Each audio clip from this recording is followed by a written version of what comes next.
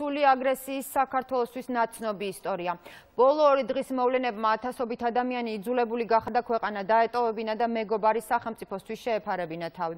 ყველაზე დიდი ნაკადი დაბომბილი უკრაინიდან პოლონეთისკენ მიემართება. საზღვართან საცობებია, თუმცა დევნილების გრძელ რიგში ძირითადად ქალები და ბავშვები არიან. შეერთებული შტატები უკრაინის ყველა მეზობელს დახმარებას გაუწევს, ამისათვის ვაშინგტონი უკვე ემზადება.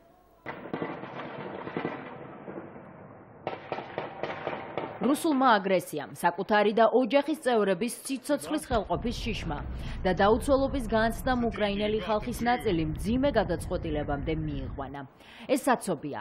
ავტომობილების კოლონა უკრაინის მეგობარი მეზობელი ქვეყნების მიმართულებით თავშესაფრის მიღების მოლოდინით გადაადგილდება.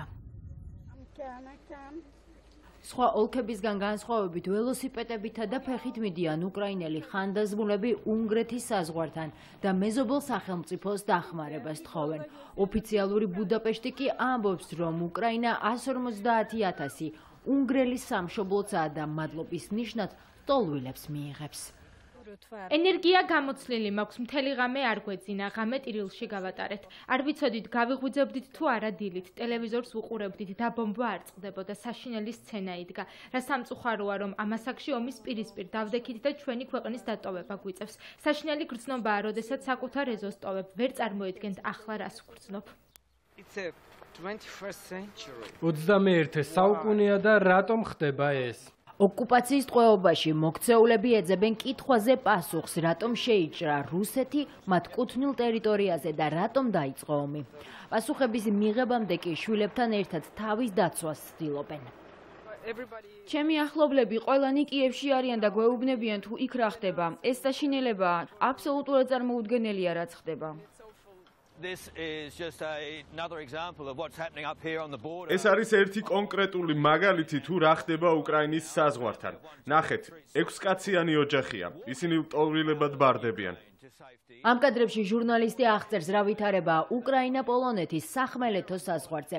კორესპონდენტი ერთი ოჯახის მაგალითზე ყვება, რომ უკრაინიდან ხალხის დიდი ნაკადი სამხრეთ პოლონეთის მიმართულებით გადაადგილდება.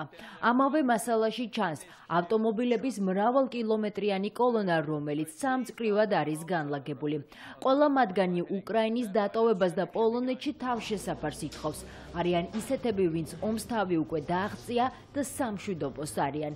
ზოგი თავშესაფრის მოლოდინში სხვადასხვა შენობებში იმყოფება. უკრაინელები დახმარების მოლოდინში არიან. ეს პირველ რიგში შემაშფოთებელია, რადგან ჩემს ცხოვრებაში ომი ჩემთან ასე ახლოს არასდროს მინახავს. სანამ პოლონელები დემნილთა ბანაკში გადაგვიყვანენ, ჩვენ რკინიგზის სადგურში ვართ გაჩერებული. რთულია, მაგრამ პირველადი ნივთები ადგილზეა. მოხალისეები კი ჩვენს დახმარებას საკვებითა და წყლით ცდილობენ. პოლონეთის გარდა უკრაინელები დახმარებას რუმინეთს თხოვენ. ოფიციალურმა ბუქარესტმა თქვა, რომ მზად არის 500.000 ლტოლვილი შეიფაროს.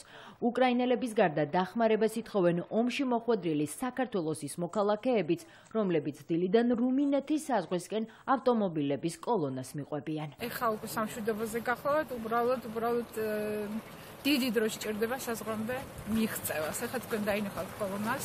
ეს კოლონა რამდენიმე კილომეტრი გრუნტება საზღვრამდე თითქმის 3 კილომეტრია და ჩვენს უკანაც თითქმის რამდენჯერმე უფრო მეტია ეს კოლონა.